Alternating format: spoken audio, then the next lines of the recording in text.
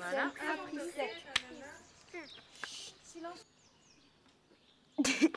Alors Pascaline, pourriez-vous nous parler, expliquer, expliquer aux téléspectateurs aux- Nous avons commencé à construire un poulailler et euh...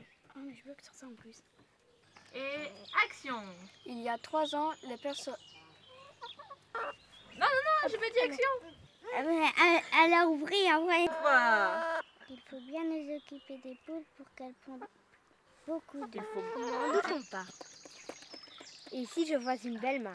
Alors, arrivé. Il a, fa- il a fait beaucoup de travail pour y Il a arriver. fallu. Des poissons et qui grandissent et qui grandissent et qui, et qui viennent très gros. Hop, et dire... il faut, je, je mets mon maillot et je plonge pour aller rechercher les poissons.